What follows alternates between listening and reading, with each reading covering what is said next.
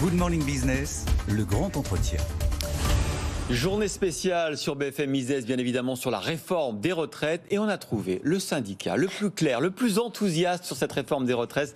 C'est la CPME et son secrétaire général, Jean-Hugues Duménil. Bonjour. Bonjour. Merci d'être avec nous. Alors, vous achetez tout de la réforme? Non, bien sûr que non. D'abord parce qu'on ne connaît pas le détail, on va connaître ce soir. Ce qu'on achète, parce qu'on est pragmatique, acheter entre guillemets, euh, c'est le principe de travailler plus longtemps. Pour une raison très simple, quand vous regardez la démographie, c'est pas compliqué. 1950, 5 actifs pour un retraité, 2050, un actif pour un retraité. Donc voilà, c'est tout simplement pas supportable. Évidemment, il y a des conséquences financières derrière. En plus, la France n'est pas simplement euh, un pays isolé au sein de l'Europe. Quand vous regardez ce qui se passe ailleurs, 14 pays sur 28 dans l'Union européenne ont réformé les retraites dans les mm. deux dernières années. Nos voisins allemands, qui étaient à 65 ans, vont passer à 67 ans en 2031. Les Espagnols aussi Bien sûr, donc euh, ce serait inconcevable d'imaginer que seule la France peut rester comme elle était précédemment sans tenir compte de la réalité de la démographie. Voilà pourquoi on est pour. Donc sur le report de l'âge, vous achetez. Les deux gros autres sujets, c'est la pénibilité et les carrières longues. Là, quelles sont vos conditions?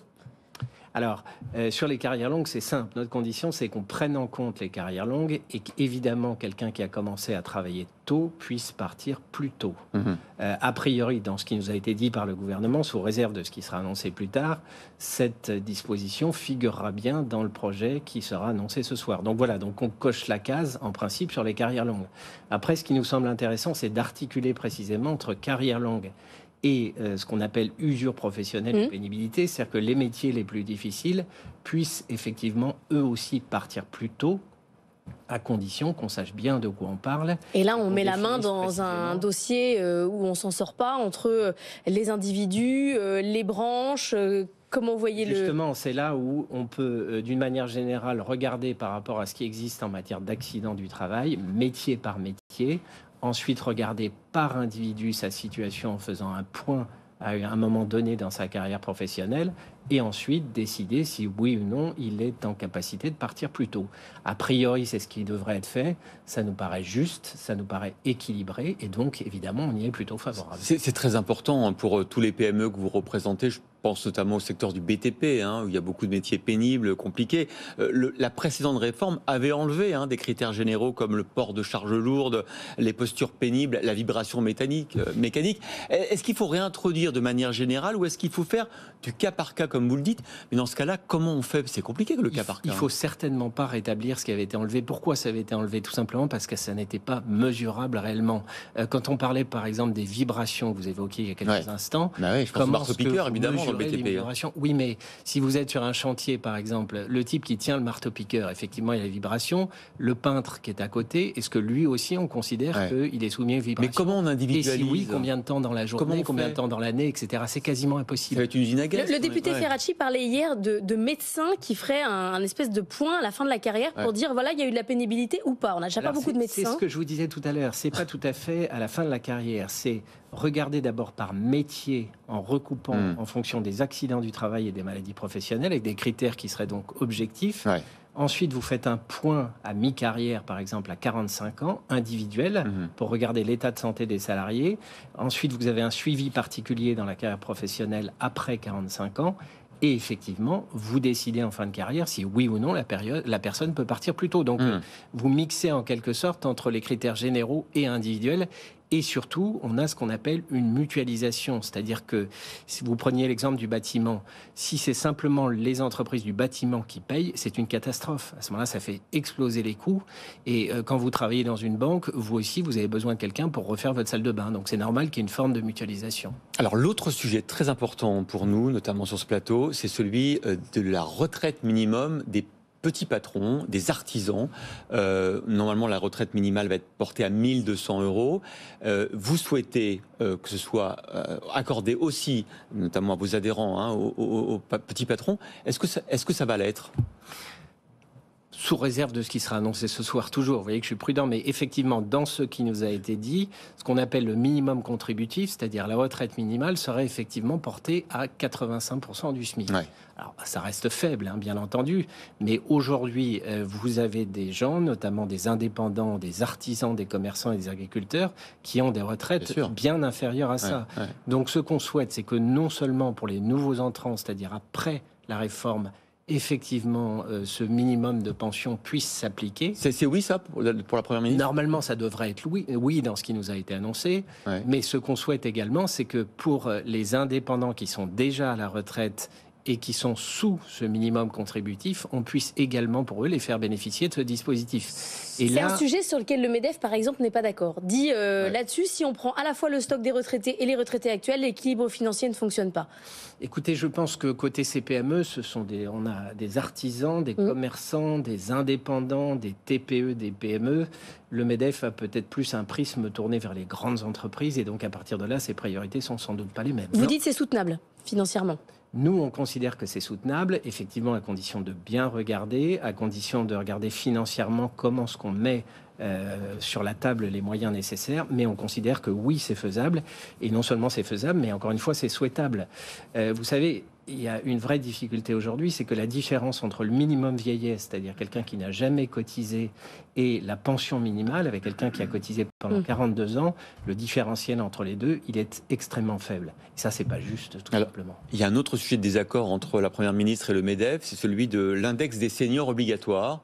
Euh, le MEDEF ne veut pas en entendre parler. Euh, est-ce que vous, vous accepteriez, même, même pour les PME ou les, entreprises moyennes, qu'on rende obligatoire ce, cet index des seniors, c'est-à-dire le taux de seniors dans une entreprise Alors d'abord, il faut savoir de quelle entreprise on parle. Effectivement, quand c'est une très grande entreprise, sur le plan statistique, ça peut avoir un sens de regarder l'évolution de mmh, carrière, mmh, le nombre de mmh. seniors, etc. Quand vous êtes dans une entreprise de 50 salariés, ça n'a aucun sens. Si ça concerne trois personnes ou quatre, ça veut rien dire. Donc, premier point, c'est regarder la taille d'entreprise. Ensuite, si c'est aider le chef d'entreprise à gérer sa pyramide des âges, à anticiper, à être bien conscient de la situation, pourquoi pas? Par contre, si c'est mettre les entreprises sous surveillance et prévoir des sanctions, évidemment, on y est radicalement opposé. Le problème, c'est comment on change euh, les pratiques. On va avoir un million de seniors en plus qui vont arriver sur le marché du travail avec la réforme. Euh, vous dites effectivement, peut-être pas dans une PME dire on vous oblige à prendre votre senior, c'est votre, c'est votre quota.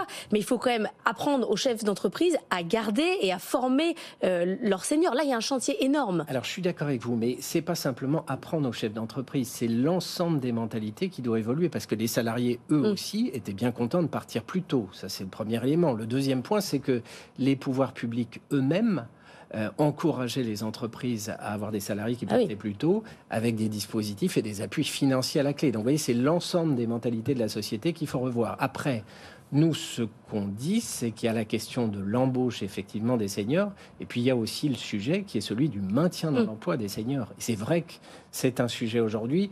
On a proposé un certain nombre de dispositions, notamment qu'on puisse avoir euh, une diminution de cotisation sociale pour les salariés à partir ah d'un certain âge pour diminuer leurs coûts, puisqu'on sait très bien qu'en fin de carrière, par définition, vous, coûtez plus cher. Ça, ça aurait un sens. Qu'est-ce que vous a répondu cette proposition? On, on, verra ce soir, mais a priori, je crains qu'on n'ait pas gain de cause là-dessus, et c'est bien dommage.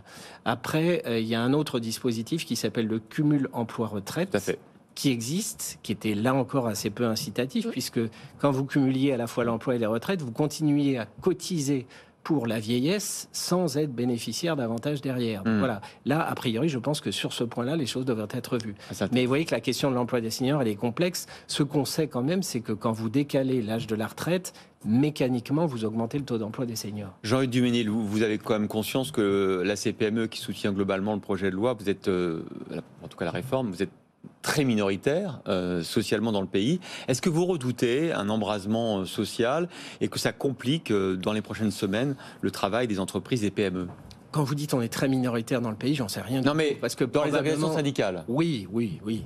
Et deux Français sur trois sont contre le changement de l'âge de départ à la retraite. C'est l'enquête Doxa qu'on publie ce matin. Mais je pense que euh, réellement, ça fait plaisir à assez peu de monde de travailler plus longtemps. Il faut être tout à fait clair. Hmm. Simplement, on est rattrapé par le principe de réalité. je pense aussi que les Français sont conscients de ce principe de réalité, à condition, encore une fois, qu'on tienne compte des carrières longues, de la pénibilité, etc. Ce dont on vient de parler. Euh, après, est-ce qu'on craint les mouvements sociaux? Oui, bien sûr. Euh, on les craint pourquoi? On a déjà eu les gilets jaunes, Mm. on a eu ensuite le Covid, on a eu euh, beaucoup de blocages, La crise récemment, économique, les l'inflation, la. SNCF, etc. Donc c'est vrai que ça sentez- risque de désorganiser l'économie et ça c'est très mauvais, bien entendu. Vous le sentez dans les PME parce que souvent on dit les grands conflits sociaux finalement c'est dans les grandes entreprises publiques ou dans les entreprises euh, très particulières. Dans les PME, vous sentez qu'il y a aujourd'hui une, une difficulté dans les tensions sociales? En tout cas, pas sur ce point-là. Euh, ce qu'on sent dans les PME, mais vous savez, dans les PME, il y a une proximité entre le chef d'entreprise et ses salariés. Mais on sent évidemment que les questions liées à l'inflation, liées au salaire, euh, bah, c'est des vrais sujets pour l'ensemble des Français. C'est normal. Après, dans les entreprises, on essaye d'y apporter des réponses. Euh, maintenant, la plus belle femme du monde ne peut offrir que ce qu'elle a. Et voilà, euh, pour distribuer la richesse, il faut la créer. Merci Jean-Luc Duménil, secrétaire général de la CPME, d'avoir été l'invité de Good Morning Business, journée spéciale sur les retraites.